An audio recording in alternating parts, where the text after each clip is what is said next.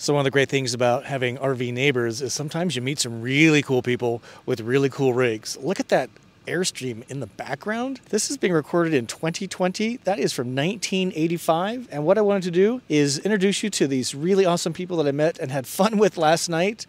Um, the um, their RVing experience, why they chose Airstream, and um, get a tour, and you get to have a song played for you. Let's go meet Fonny Mim, and Kyla. Kayla, Kayla. Let's go.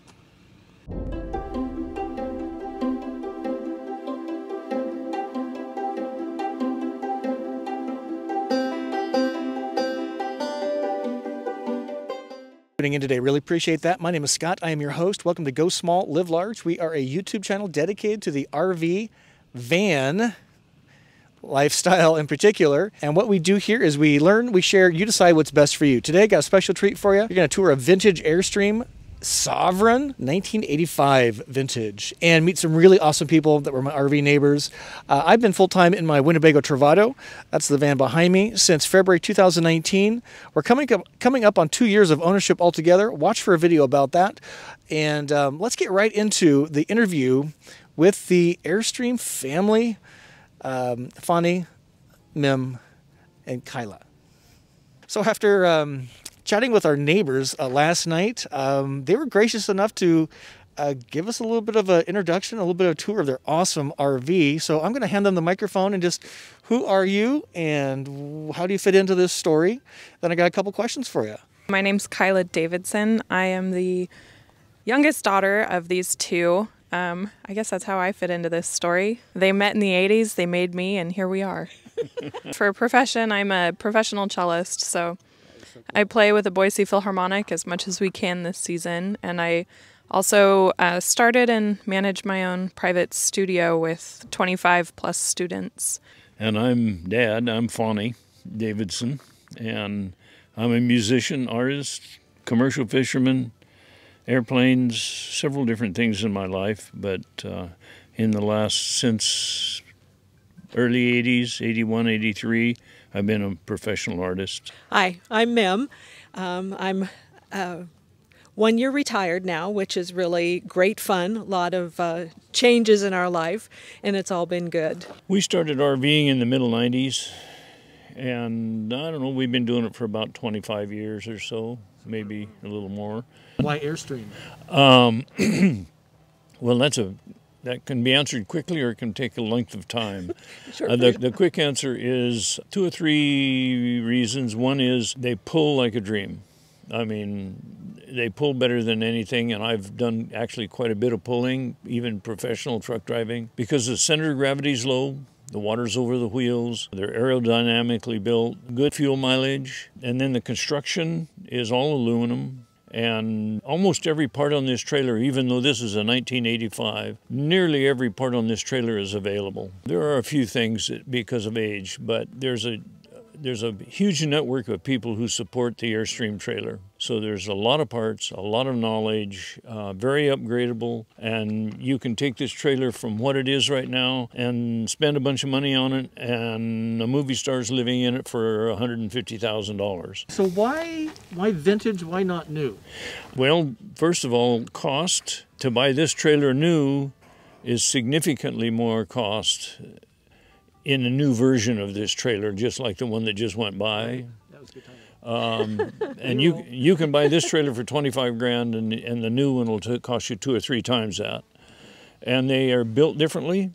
Uh, some things are better, some things are not better. Uh, uh, there are quite a few things about the new trailers I'm not fond of. All the electronics. Well, there are, actually, there, there are actually quite a few different things, but um, cost and build all right, let's check out inside. All right, go ahead. Come on in. Ooh, look at this. Wow. Oh my God, it's so much headroom. it's it's a very comfortable space. Very comfortable space. Tell us about it. So this is the this uh, this couch, yeah, pulls folds out to make into like a double bed. It's not the most comfortable bed in the world, but it works well. Um, this table flips up Sure. And it's it actually folds out. We could get four or five people around it pretty easily. Um, storage up here. This needs to be replaced, but it's there. The panels that tell us how full our tanks Oh, are, yeah. um, you know, condition of the battery. So kind of the master control. Okay. That is really cool. Yeah. That's vintage there. That's, This yes, this is that- all I mean, vintage. that looks cool. And yeah, yeah. Okay. Um, you asked about the painting. So this Oh, yes. painting was the the first painting that Fonny did when we took the safari to our first uh, Wally Byam Airstream rally back in 2005. So we decided it was worth keeping it in the trailer because that's what it what it was painted for, for or from. Why? That's great. Um, Love this galley. Look how big this is. Oh, I love this. A lot of people want to take their stoves out. You know, I, I honestly don't get it, but so great. four burners, the oven, Oven. and we we used the oven this trip actually. Um, another thing I really like about this is this little cabinet right here behind the stove with all the, you know, it's our junk drawer. um, then we have under here is more storage and our, I can show you. It doesn't probably, but our silverware, Yeah. you know, pots and pans. This is yet another storage capacity. Awesome. And then, um, The fridge? Yeah, this fridge. And this uh, interesting cabinet next Yeah, to so we've- Fridge and And freezer. of course, uh, we like to do Gin 30. Uh, Dometic brand, everybody. Look at that. Yeah, it's Dometic It's huge. and um, gas propane? gas Or, uh, propane, and it electric it'll automatic, yeah, electric, yeah, electric and Yeah, propane, right. automatically changes back and forth um, if it's set on auto. We've chosen to have it on gas here just because the temperatures were hot and it just seems to cool better on gas. So that's what we chose. This is this is just a weird little storage compartment. Totally. Slip your broom in there or something? Or, Well, we keep you know the trays and yeah. and uh, board. mhm, that sort of stuff goes in here for us. So awesome. The closet. Oh wow, look at the size of that wardrobe. That is huge. Wow. And then Everybody's favorite room, the bathroom. the bathroom. Yay, everybody. wow. Okay. And the shower is lovely. It's wonderful. It's yeah. And you guys use that, right? We use it. And the toilet style is traditional RV Well, actually, um, compost. no, it's it's a regular toilet. But when we got this trailer, it had a uh, elongated commercial. You know, you go buy them at Camping World or whatever toilet in it, and it sits up pretty high. So so both of us, we neither one liked the dangly feeling. Okay. Sure. Um, in the safari, we had to replace the toilet there, and we, we found a, a marine supply place that would custom make the toilet for us. So they took their pieces and parts and put it together so it sits lower, and it's a porcelain bowl, and it's a deep porcelain bowl, and it just is ideal. Is- Um, I, I- you know, it's perfect. great. I love the uh, vanity lights, the mirrors, right? That's cool. Mm-hmm. And then Huge there's window. Oh storage behind this, Oh sure. and then Huge. Lots of stuff. Look at this. Holy cow. And still yet more below. Look at that awesome view you have. right. Clean your teeth. That is so great. Okay. And, And the then- bedroom. The bedroom. Twin beds. twin beds and um, so twin I I of course grew up in the fa- in a family that you everybody you know you sleep you each have your own bed and, well mom and dad sleep in a bed. And we just found in the safari um, Fonny used to take it out when he'd go painting and if he wanted to take somebody else painting with him having the twin beds made it much easier. And uh, we had two girls when we first had the Argosy, and so again, two beds. They had each had their bed, and we'd pull out the bed each night. And then there's three drawers in here, and a couple of drawers under the beds. Just love the windows, huh? Uh huh. Yeah. So nice. Well, a huge thank you to the family for touring. Let's tour your your um, um, your home on wheels. It's so amazing. So every RVer has a lot of questions on what I call RV systems. So um, let's go through some of those. Um, freshwater tank capacity It's 50 gallons. of freshwater. Yeah. Okay. We're RVers. We always talk about toilets and waste tanks. So what kind of Yeah, about uh, an equal amount of uh, waste tank. So about 50 gallons. Yeah, about 50 gallons of, of waste tank also. That's amazing. I'm so jealous. Tell us about electrical. Do you have solar? Uh, we have a portable solar panel. We're not using it today. Okay. It's about 100 watt. So tell us about your batteries. And you and I talked, and you have kind of the traditional AGM, and you're looking to go lithium, which is which is awesome. Okay, as far as the lithium over the L, uh, uh, over the AGM battery, um, there's there's a lot here to learn. So go and study it because there's way more than I can say now. But essentially, it's a far superior storage device. Uh, uh, amp for amp, a lithium battery will give you almost twice as much usable amperage on a regular basis that an AGM will give you. They will last many times longer, and the cost of the lithium battery up front is excessive almost, it seems like. But if you count into it how many cycles it has available, if you take care of it, if you muck around with it and don't take care of it correctly, uh, you can destroy your battery. But they are a far superior Yeah, uh, storage device. charge faster, charge fuller, discharge Everything, more, everything. Um, the weight. Uh, every it's- ev- uh, no matter every characteristic of a battery is better with the lithium, except cost. So, so let me ask you this. Thank you for that. It's it's always fascinating. I just it's in such great shape. Um, we'll see if we can put some uh, pictures for you guys to take a look at. Um, but I noticed you have a, your guitar in the front room. Would you mind grabbing that and playing a song for us? No, I will. Sure. Excuse me. Yes, I will. That's cool. Thank you. This is not a standard guitar, so I'm learning the guitar, as many of you know. And uh, kind of what is this in the short version, and what song are you going to sing? And tell us just a little bit about the artist, named after a really hot car that Ford produced in the 70s, Pinto, I think, or something like that. Um, okay, this guitar is a 1935 Epiphone tenor, and uh, it's a carved instrument. It's a beautiful little guitar. I'm going to sing a tune that was written by a friend of mine. Uh, his name is Pinto Bennett. He's kind of a legend in the state of Idaho.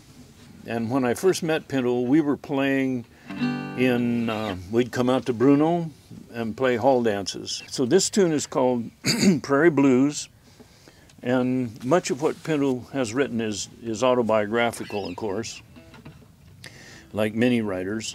But um, anyway, this is about essentially the truck stop at Mountain Home um, and being raised out here in the sagebrush and wishing you were doing something else sometimes and and, and let's let's hear it. anyway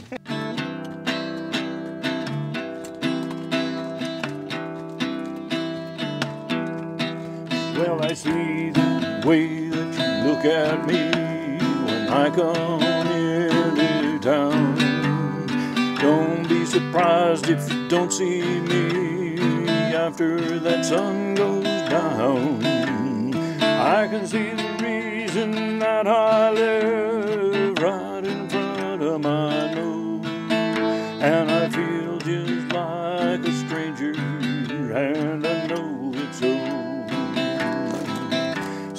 Pardon the expression, ma'am, but I can see what it has done to you. So, boy, what a fool I've been for thinking I was through with you. And now I know you're never gonna let me go. Well, baby, it's such a shame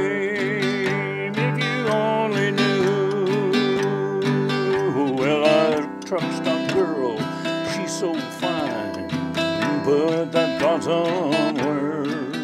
It's a long, long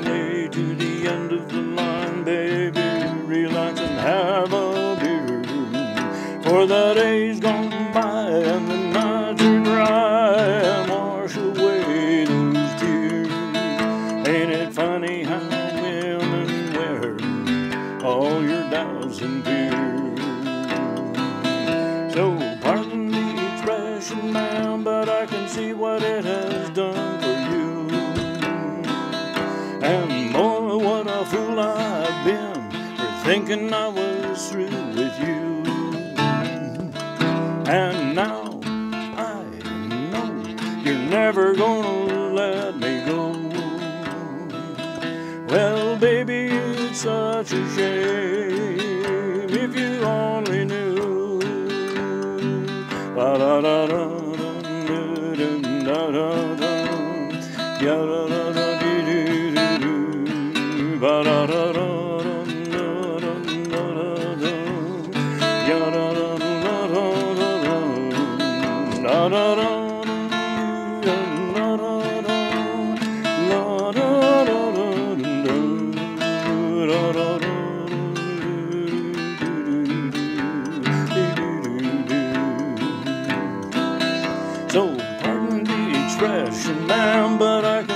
da da da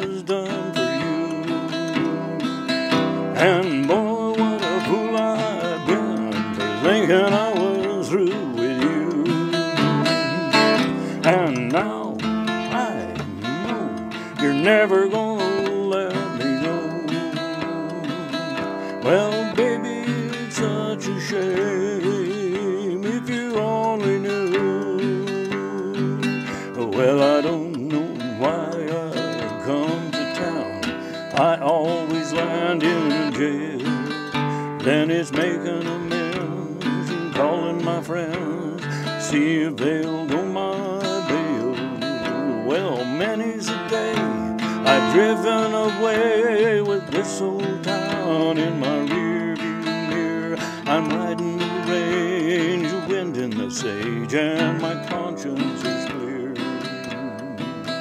Yes, I'm riding the range, sage, and my conscience is clear. There you go. That was amazing. That Benton. So great. Wow. Well, Yeah. thank you so much for playing that for us. You bet. You can find him on the internet. There's quite a bit of stuff on him. Okay. Yeah, good friend. And that's a good point. So we're going to link um, a lot of these. Uh, so uh, Fonny has a website um, with his paintings on there. Uh, he's got a YouTube uh, song posted on YouTube, so we're going to link that out. All right. Well, I hope you guys are enjoying that. That's really amazing. And these uh, these folks are so gracious to invite us into their their um, their home, literally. And even the dog got in the act, which is pretty cool. Um, so here's my question for you, just as we wind down. What advice would you give uh, for RVers, whether they're new, seasoned, looking at their first one? Um, what advice would you give them? I think the best bit of advice I'd give to somebody is to have fun. Don't be too structured. Um, just kind of let life uh, lead you down the path because it's going to take you places where you might not expect to go. Yeah, and talk to somebody that's done it a whole bunch before you make a decision. you can learn a lot from people that already have experience, and they will help you. If you're an Airstreamer, there's a huge amount of support out there in the world, uh, unlike any other trailer, and we have helped many people get started. I've found trailers for other people. Um, you know, they're just in the Airstream community. There's just a huge amount of support.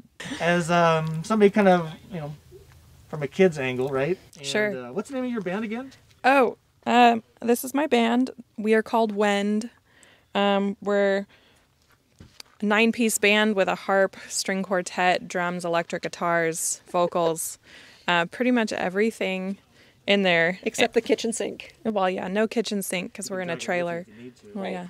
So, RV advice let your parents do all the work and have fun. Uh, we're still chuckling about that. Thank you. Spoken like a true kid. I love it.